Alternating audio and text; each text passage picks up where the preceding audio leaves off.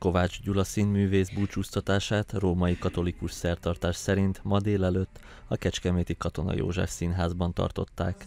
A színész 70. életévében hunyt el a Bál című előadás premierje után egy nappal. Kovács Gyula 1949-ben született Budapesten, évekig tagja volt a Tália Színháznak, a József Attila Színháznak, majd a Nyíregyházi Móricz Zsigmond Színháznak. 1983-ban csatlakozott először a Kecskeméti Katona József Színház társulatához, majd 2007-ben folytatta a híres városban munkásságát.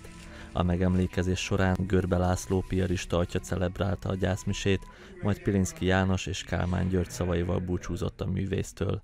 Jó barátja és munkatársa Sirko László saját gondolataival köszönt el Kovács Gyulától.